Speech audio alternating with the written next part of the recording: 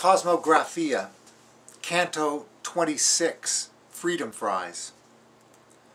The grease, no doubt, remains the same, thick with the stench of saturated rhetoric and two or three centuries worth of armed eliminations dressed up in a $3,000 suit and looking good enough to instigate endless debates in which both sides agree to implement binding parades of nullities on all parties preceding universal declarations of victory.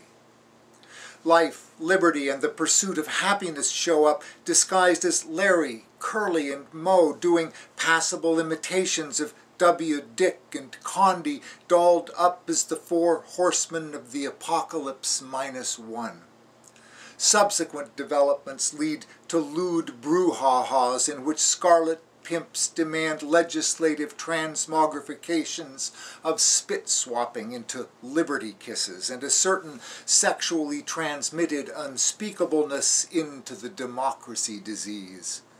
not to be outdone in Gallic exclusionary purification extractions, large parties of spontaneously armed men with beards and baseball caps reluctantly leave big sky country aiming to pull down that freedom whore eastern bastards have set up in New York harbor like some giant hollow horse and send the bitch back where she came from.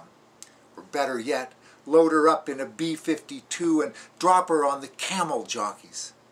In quick succession, beans, bread, cuffs, salad dressing, horns, and toast are rounded up in a dragnet and marched blindfolded into the U.S. Congress, where they are piled on top of each other in a pyramidal lexicon of Gaulish-derived linguistic sleeper cell intent, stripped naked and subjected to various cavity searches, while the pursuit of happiness looks on in august and judicious disinterest, till Moe pops him upside the head, and war, ever the joker, instigates a vast and proliferating entanglement emanating beyond bulging crotch solutions leave the whole apparatus dangling limply while freedom fries.